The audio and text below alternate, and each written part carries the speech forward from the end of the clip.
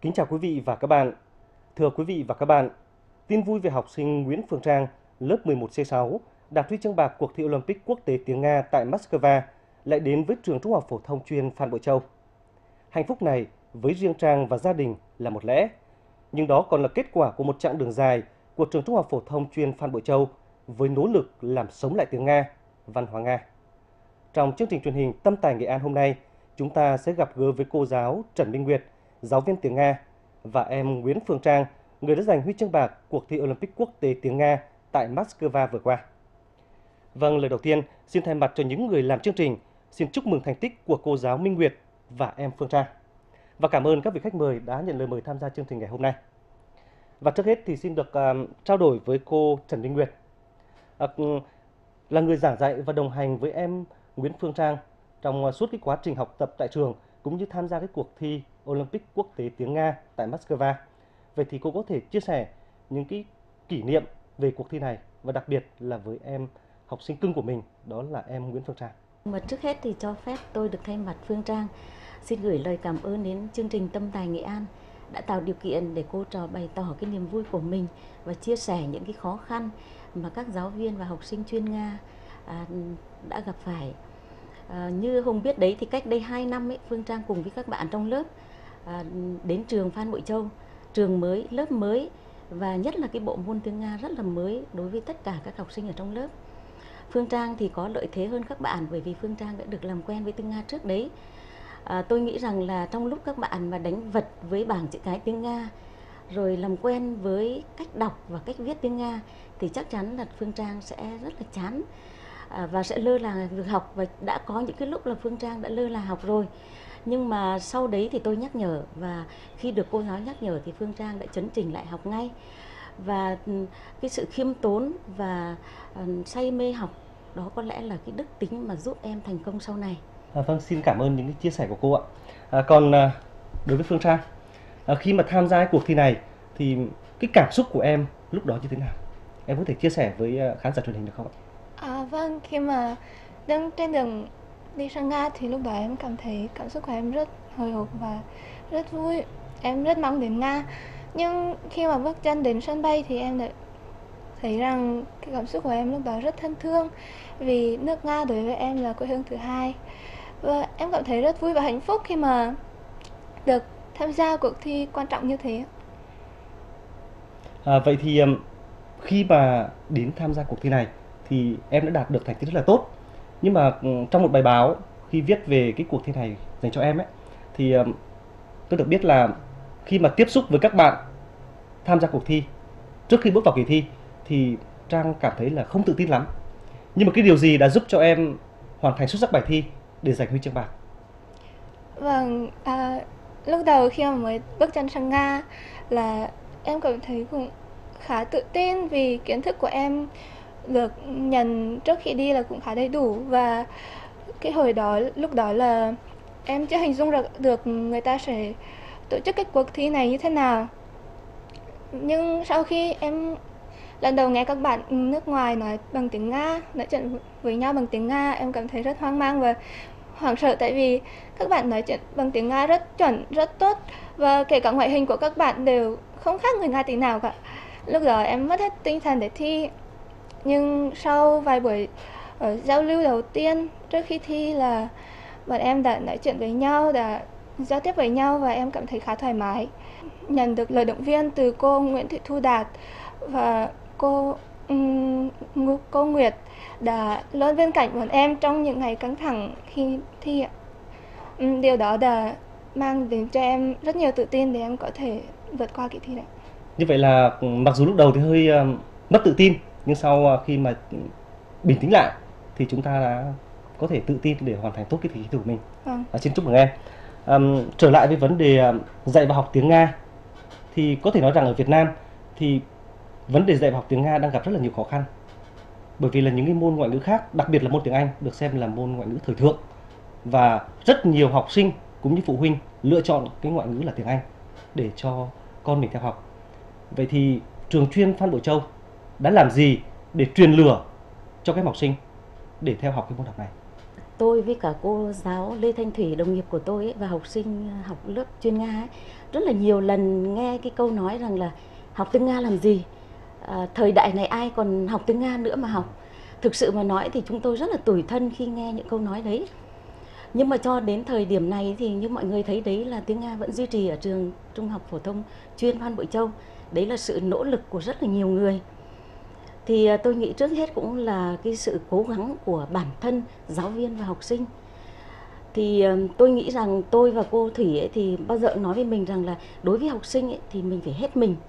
Và làm thế nào đấy để cho học sinh cảm nhận được cái tình cảm của mình và học sinh nể mình để học. Cái đấy có lẽ là cái quan trọng nhất. Cái thứ hai nữa thì tôi nghĩ rằng là những cái người học tiếng nga ấy và đã từng ở nga thì bao giờ cũng có một cái tình cảm rất là đặc biệt với nước nga với tiếng nga và văn học nga. À, trong các cái giờ học ấy thì tôi cố gắng kể những cái câu chuyện đời thường hay là những cái câu chuyện ở trong văn học nga để làm thế nào đấy để cố gắng uh, cho học sinh hiểu được một chút gì đấy và để thêm cái động lực cho các em học. Hơn chục năm nay ở trên uh, nghệ an này ấy, thì chỉ có mỗi trường chuyên phan bội châu là học tiếng nga nữa thôi đấy là cái sự nỗ lực của rất là nhiều người. À, thứ nhất là của nỗ lực của cái tập thể ban giám hiệu trường trung học phổ thông chuyên phan bội châu. Có sự ủng hộ rất là lớn của sở giáo dục và đào tạo của ủy ban nhân dân tỉnh. Rồi à, ở trường Phan Bội Châu ấy thì tôi nghĩ rằng Tương Nga giống như một người em út ấy và luôn nhận được sự quan tâm từ tất cả các đoàn thể. Và đấy khi mà Phương Trang bước lên bục nhận cái giải bạc của huy chương quốc tế đấy tôi lúc đấy tôi cảm thấy tôi rất là nhớ trường. Bởi vì tôi hiểu rất rõ ràng là nếu như mình không ở trong một cái môi trường sư phạm như vậy thì chắc chắn là tôi không thể đạt được cái thành tích đấy. Tôi và Phương Trang sẽ không có cái thành tích đấy. À, vâng, xin cảm ơn những chia sẻ của cô. Và những cái nỗ lực cố gắng của cô cũng như nhà trường đã được đền đáp xứng đáng. Và minh chứng rõ nhất đó chính là tấm huy chương bạc mà em Phương Trang vừa giành được trong cuộc thi Olympic tiếng Nga quốc tế tại Moscow vừa qua.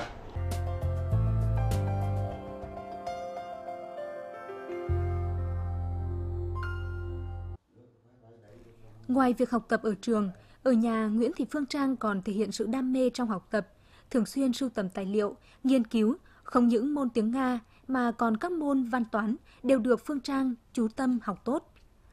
Có những hôm Trang miệt mài bên sách vở, quên cả thời gian. Mẹ là người bên cạnh chăm sóc và nhắc nhở em. Ngoài việc động viên chăm sóc Trang, mẹ còn hướng dẫn em làm các công việc nội trợ trong gia đình. Ngoài cái à, việc à, cháu học ở lớp thì à, về nhà thì mẹ cũng chăm lo cho cháu ăn uống ừ, đầy đủ ờ, để có sức học tập. Ngoài ăn uống ra thì cũng bảo là cháu là học là phải có giờ giấc khoa học. Ngoài cái, cái giờ học đó ra thì gia đình thì mẹ cũng cứ khuyến khích cháu nữa tức là giúp mẹ làm việc nhà. Phải biết là cũng chăm lo cho bản thân mình nữa. Bạn là một người rất chịu khó. Ừ, biết tìm tòi các sách vở ở bên ngoài để học tốt hơn ạ. Và bạn còn uh, rất là hòa đồng ở trong lớp. Và biết chia sẻ uh, mọi nhiệm vụ nỗi buồn cùng các bạn.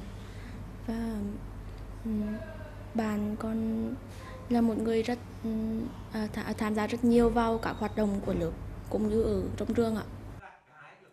Vào cấp 3, Phương Trang chọn học môn ngoại ngữ Nga để thỏa mãn niềm đam mê bấy lâu nay và mong muốn thực hiện ước mơ quay trở lại đất nước mình đã sống thời thơ bé. Được sự quan tâm của gia đình, thầy cô cùng với sự nỗ lực của bản thân, thể hiện sự đam mê cháy bỏng của bản thân, nên trong các kỳ thi, Trang luôn đạt điểm cao. Năm học vừa qua, em được nhà trường chọn tham dự kỳ thi Olympic tiếng Nga quốc tế năm 2014 tổ chức tại thành phố Moscow, Liên bang Nga và đã xuất sắc giành được tấm huy chương bạc. Đây không những là phần thưởng xứng đáng ghi nhận sự cố gắng vươn lên trong học tập của em Nguyễn Phương Trang, mà còn là niềm tự hào của tập thể trường chuyên Phan Bội Châu và của ngành giáo dục tỉnh Nghệ An. À, vậy thì với cái thành tích mà em vừa đạt được, đó là tấm huy chương bạc cuộc thi Olympic tiếng Nga quốc tế vừa qua, thì cái dự định tương lai của Phương Trang là gì? Dự định của em trong tương lai thì mình chưa có, tại vì trước mắt em là còn một năm đại học để phấn đấu hơn nữa nhưng nếu em có sự lựa chọn thì em sẽ rất vui khi mà lựa chọn được ngành liên quan đến tiếng Nga để sau này có thể gắn bó với tiếng Nga nước Nga mãi. và chúc cho cái dự định của em sẽ trở thành hiện thực. À, thưa cô uh, Minh Nguyệt ạ, giấu cho môn tiếng Nga Ờ, cái số lượng người học đang sụt giảm nhưng mà ừ, thực tế là vẫn đang rất nhiều người gắn bó với cái môn học này và đặc biệt là gắn bó với văn hóa Nga. Um, thực tế thì cái việc tiếp cận với các môn học khác, ngoại ngữ khác như là tiếng Anh chẳng hạn rất là dễ dàng. Tuy nhiên việc tiếp cận với học môn tiếng Nga lại gặp những cái trở ngại và chắc chắn đó là trăn trở của nhiều người trong đó có cô đúng không ạ? Tiếng Nga bây giờ gặp rất là nhiều khó khăn. À, do vậy thì là cái tiết học đầu tiên của lớp chuyên Nga thì nó rất là đặc biệt, nó không giống với tất cả những cái tiết học đầu tiên của các lớp khác. Nếu như các lớp khác tiết đầu tiên là kiểm tra lại kiến thức cũ thì hay là ừ, dạy kiến thức mới thì lớp tiết học đầu tiên của lớp chuyên Nga ấy, không thể bắt đầu bằng những cái đấy được mà bao giờ cũng bắt đầu bằng những tâm sự của giáo viên là những chia sẻ nào là sẽ rất là khó khăn trong quá trình học các em sẽ rất là khó để tìm một cái tài liệu tiếng Nga ở trên thị trường bây giờ ở tại Nghệ An. Các em sẽ không có người để nói chuyện bằng tiếng Nga. Các em sẽ không có ai để hỏi tiếng Nga ngoài cô ra chẳng hạn. À, rất là nhiều người nói với tôi rằng là tại sao ở tiết học đầu tiên cô đã nói như vậy? Học sinh sẽ rất là uh, hoang mang sẽ không học. Nhưng mà riêng bản thân tôi thì tôi nghĩ rằng là nên để cho học sinh biết ngay những cái khó khăn. Và khi đã biết được khó khăn và chia sẻ thì đấy sẽ là cái nỗ lực và sẽ là động lực để cho các em có thành công sau này. Thưa quý vị và các bạn, việc dạy và học tiếng Nga tại Việt Nam còn nhiều trăn trở, nhưng việc năm học sinh Việt Nam tham gia cuộc thi Olympic quốc tế tiếng Nga tổ chức tại Moscow vừa qua, giành 3 huy chương vàng, 2 huy chương bạc, tiếp tục sẽ thắp lên ngọn lửa tình yêu với đất nước và con người Nga. Cảm ơn quý vị và các bạn đã theo dõi chương trình. Xin kính chào tạm biệt và hẹn gặp lại.